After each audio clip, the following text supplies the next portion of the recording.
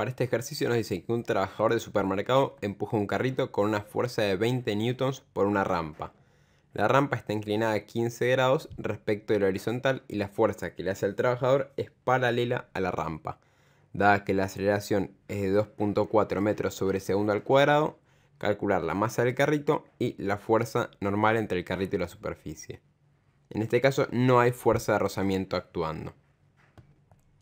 Si completamos nuestra tabla de datos, nos queda la fuerza, el ángulo y la aceleración como datos y la incógnita es la masa y la normal planteamos nuestras tres fuerzas actuando en el sistema y nuestro diagrama de cuerpo libre.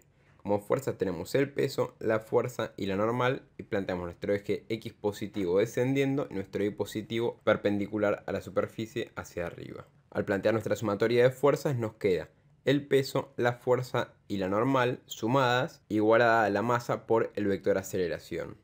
Tenemos que la fuerza F actúa directamente sobre el eje X y la fuerza normal actúa directamente sobre el eje Y. El peso, como ya estamos acostumbrados, vamos a tener que descomponerlo en X y en Y. Nuestra sumatoria de fuerzas en el eje X nos queda positiva la componente en X del peso y negativa la fuerza F, que se aplica en sentido opuesto a nuestro eje X positivo. Y esto es igual a la masa por la aceleración en el eje X. En nuestra sumatoria de fuerza en el eje Y nos queda la normal positiva y la componente en y del peso negativa, y es igual a cero porque la aceleración en el eje y es igual a cero. Para calcular la masa del carrito vamos a utilizar nuestra sumatoria de fuerza en el eje X, y una vez que sepamos la masa del carrito vamos a poder despejar nuestra normal y averiguar cuánto vale.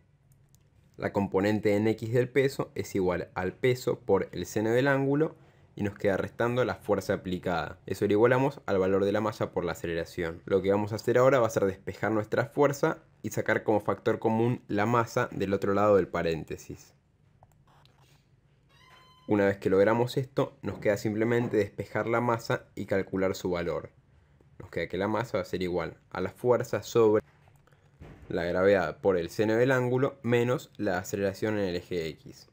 Y esto reemplazando por los datos nos queda 20 newtons sobre 9.8 por el seno del ángulo menos 2.4 metros sobre segundo al cuadrado, nos queda que el valor de la masa es de 146 kilogramos. Una vez que tenemos el valor de nuestra masa, podemos averiguar cuánto vale nuestra normal, que es la segunda parte del ejercicio.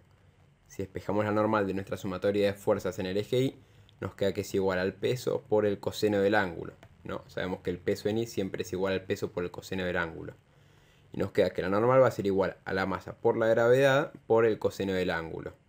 Si reemplazamos por los valores, nos queda la masa de 146 kilogramos, la aceleración de la gravedad de 9,8 metros sobre segundos al cuadrado y el coseno de 15 grados. El valor de la fuerza de contacto es de 1387 newtons.